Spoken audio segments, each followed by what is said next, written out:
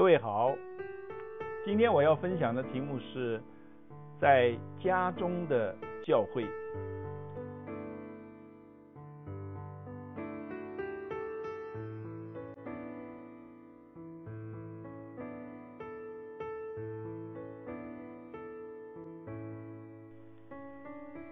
寻道者尤斯丁是第二世纪时候最出名的护教学者。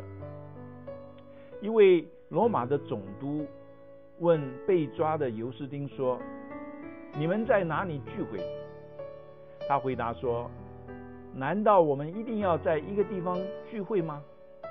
我们就是随遇而安，个人选择最合适他们的地点聚会。”因为我们的神绝对不受地点的限制。犹太人虽然有宏伟的圣殿和许多的会堂，但主耶稣却喜欢在普通的家庭中聚会。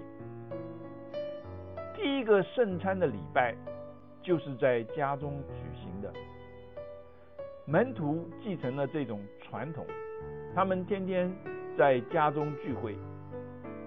哥里牛就是一个很好的例子。他把自己的亲属和朋友召集在家里，然后请传道人彼得来分享福音。家庭教会这不是新的观念，而是最原始的教会形式。为什么教会应当从家开始呢？第一，家庭提供了一个温暖的环境。在家中就很容易建立沟通的桥梁，爱心成为吸引住大家的力量，彼此能觉得被对方所接纳。第二，家庭的聚会不拘泥于仪文和形式，许多的教堂传统的包袱都可以轻易的抛开，让人。能够更多的直接参与。第三，家庭聚会能够供给许多造就的机会。学习侍奉最好的地方就是在家里，大家轮流主持聚会，教导圣经，带领祷告，彼此服侍。第四，家庭是向外传福音最好的跳板。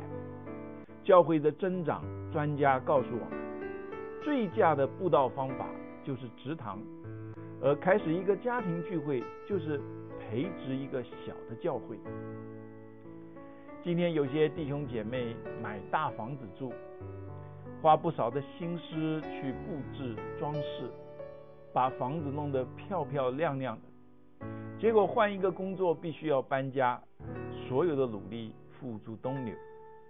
这种活受罪是没有什么价值的，也不为上帝所称许。反观另外有一些弟兄姐妹，他们虽然没有大房子，却为主有一颗广大的心，愿意开放自己的家，让大家来敬拜神，彼此分享鼓励，向邻居传福音，给孩子好的节目，结果。有许多人得救，他们的子女也学会敬畏神，有美好的见证，并且得到上帝的称许。你看，那是多么有意义的事情！所以，亲爱的弟兄姐妹，你愿不愿意打开你的家，让它成为神所喜悦的圣所呢？只要你有这样的心。上帝一定会祝福你，让你的家成为一个小教会。愿神祝福你，谢谢。Thank you.